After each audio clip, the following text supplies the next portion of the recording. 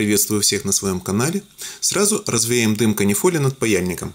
Это не подслушивающее устройство.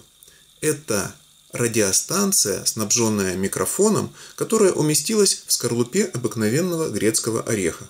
Разместить батареечки во второй скорлупке не составит труда, тем более, что вот такие емкие батареечки продаются в магазинах на то же напряжение 1,5 вольта, именно от которых работает этот радиопередатчик с микрофоном.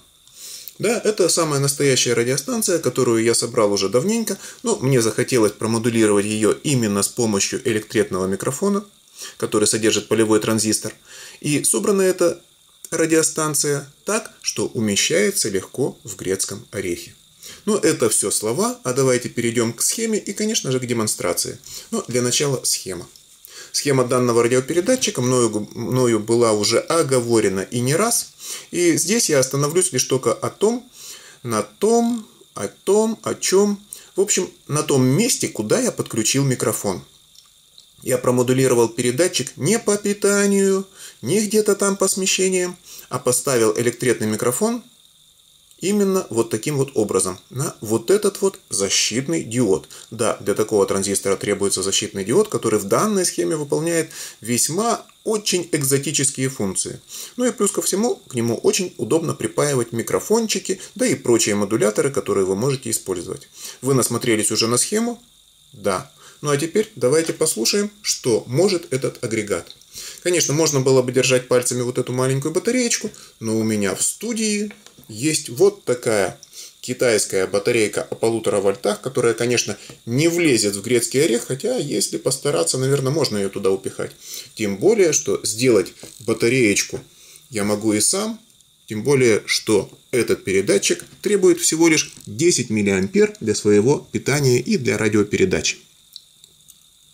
Соединим плюс с плюсом, а минус с минусом и, конечно же, включим радиоприемник. Вот уже есть некоторые завывания. А теперь кого бы нам подслушать? Давайте подслушаем сотовый телефон. Вот он звучит далеко от микрофона.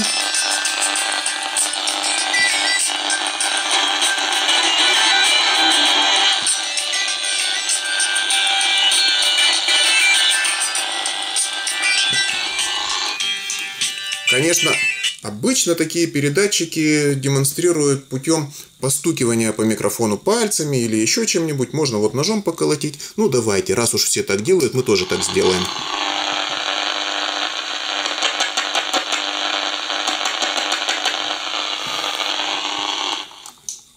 Вообще этот передатчик по такой схеме, он не стабилизированный, он маломощный, он вообще не годится как подслушивающее устройство, но как модель передатчика с микрофоном он очень даже хорош. Тем более, что сделан он из деталей, которые я вытащил из обыкновенной лампочки экономки.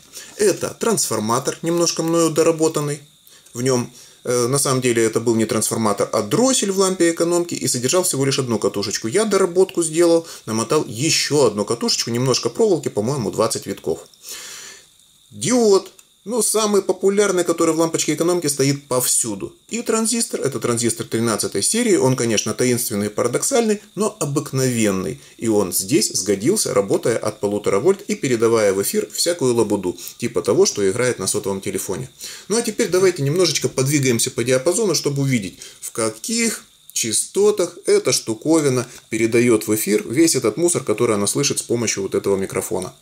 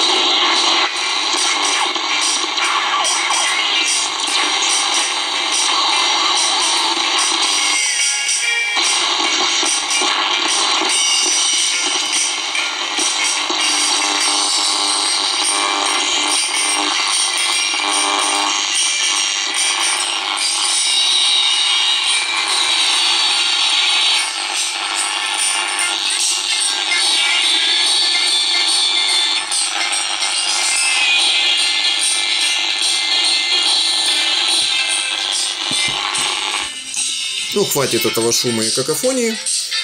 Конечно же, сотовый телефон играет без радиоприемника куда чище и лучше, но это была демонстрация. А теперь давайте посмотрим, как все это дело в деталях выглядит напрямую, а не просто вот так вот на картинке вытащим из грецкого ореха, ну не из этого, а из вот этого, все эти запчасти на свет Божий. Мои подписчики, да и вы, скорее всего, уже давно все это дело видели. Вот смотрите, из чего все это дело состоит. А это дело есть не что иное, как жучок и подслушка, которые изготавливать запрещено, поэтому я никогда не делаю подслушивающих устройств. Ему не хватает, конечно, конденсаторов, кварцевых стабилизаторов, да еще всякой мутатени. Ну и пусть не хватает. У него очень немощный транзистор, потому что если поставить мощный, за мной сразу приедут и арестуют меня. В нем можно было бы использовать другой, более крутой электретный микрофон, который выдает чистые звуки и не влияет на передающую несущую частоту именно вот такого трансформатора. Да и трансформатор использовать в качестве передающей магнитной антенны это немножко глуповато, туповато, но зато интересно. Ведь можно было использовать обыкновенную ферритовую антенну от обыкновенного радиоприемника с большим конденсатором воздушным, и все было бы это круто для загибания пальцев. Ну а пока что поставьте что-нибудь ради бога и прокомментируйте мою такую чудесную и обворожительную самоделку. А на этом все. Пока. До следующих встреч.